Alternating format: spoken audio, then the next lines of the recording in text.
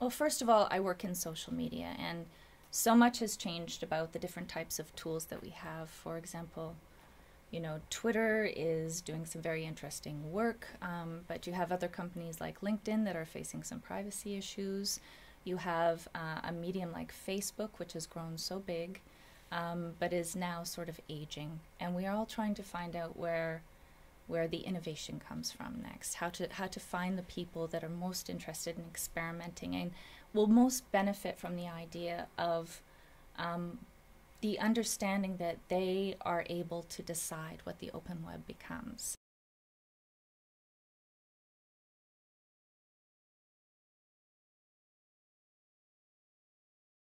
The Mozilla Project builds many tools and projects that make it easy for you to uh, look under the hood of the web. Um, the interesting part about trying to create a message that is compelling and to find these audiences is that you'll find that with youth, um, they've grown up with social media and, and the web, and they see themselves as consumers. They don't see themselves as content creators, um, as people who are empowered to drive what the future of the web um, eventually becomes.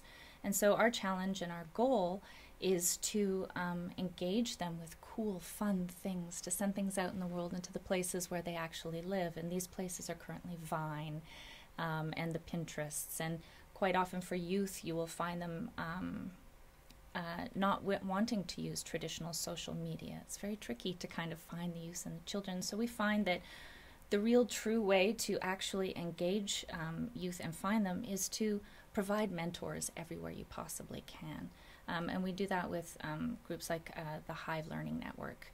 Um, and one of our main philosophies right now is we realize that we can build cool tools, um, but to, to youth and to people who don't know how to um, work with the web, um, the tools are not enough.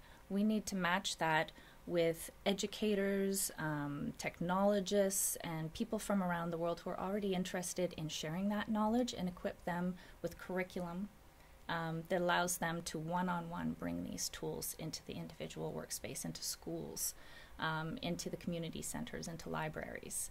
Um, and it's and, and in that way it becomes like a cycle where the humans are teaching each other and they bring what they've learned back into the web space and then share it back.